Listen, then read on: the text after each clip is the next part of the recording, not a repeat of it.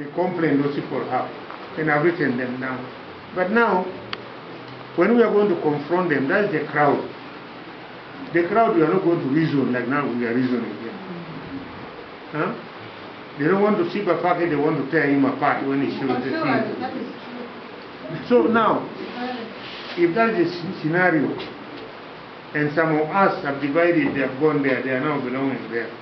I know some councillors who have been mobilized there, like one, one caller Sabadeo is part of it, people like Tumusime, um, Nasiri, and those MPs and so on. These are leaders who are now ring leaders of the rebellion. The rebellion are 10, uh, 1,000, about 1,000 people, I am told, but there may be even less, 500 or so. Out of the 10,000 people who we settled there, those few have decided to come here to disturb your office. To, to, to stay, they are determined to, to, to, to, to go through any hardships until they get justice. Therefore, my humble appeal to the Honorable Prime Minister, and I believe she's a mother, she's understanding. The team you sent has stopped Midway.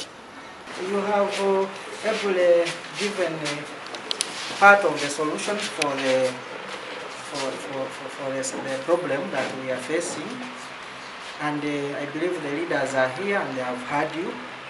They are going to help you pass over that information. I want to make it clear that we are a professional force.